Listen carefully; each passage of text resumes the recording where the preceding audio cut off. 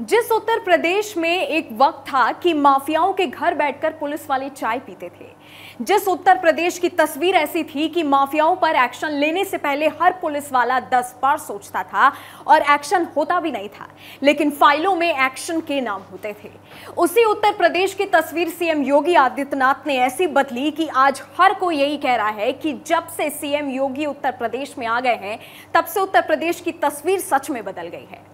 इसमें लोगों के अलावा पुलिस वाले भी शामिल हो गए। आपको याद हो कि ध्वजारोहण के बाद सीएम योगी आदित्यनाथ ने नौ यूपी एसटीएफ के साथ साथ सत्रह जाबाजों को उत्कृष्ट पुलिस पदक से इस बार नवाजा है।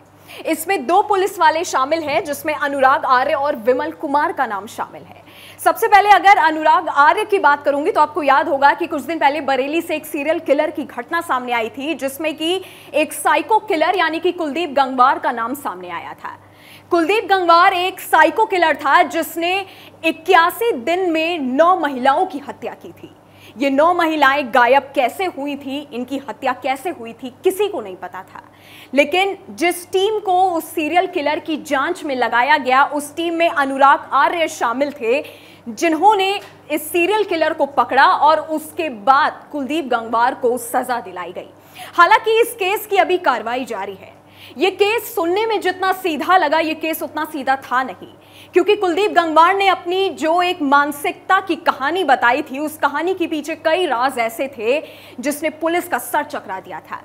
लेकिन अनुराग आर्य ने अपनी टीम लगाई और जिसमें अनुराग आर्य ने खुद इस केस की कार्रवाई की।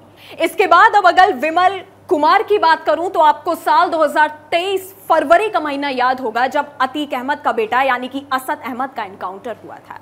असद अहमद के एनकाउंटर में जो टीम लगाई गई थी, उस टीम में विमल कुमार भी शामिल थे, जिनको आज के दिन सीएम योगी आदित्यनाथ ने पुलिस पदक से नवाजा है और साथ ही इन दो पुलिस अफसरों की जमकर तारीफ़ की है। ध्वजारोहण के बाद मुख्यमंत्री योगी आदित्यनाथ ने नौ यूपी एसटीएफ के साथ साथ सत्रह जाबाजों की तारीफ़ की।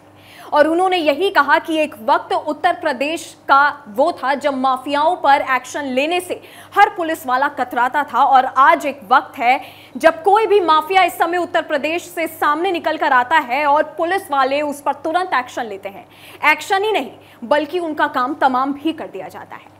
उत्तर प्रदेश की जनता को एक उत्तर प्रदेश की तस्वीर याद होगी, जब रात के समय, दोपहर के समय या सुबह के समय कोई भी माफिया या कोई भी गुंडा खुलेआम सड़कों पर घूमता था।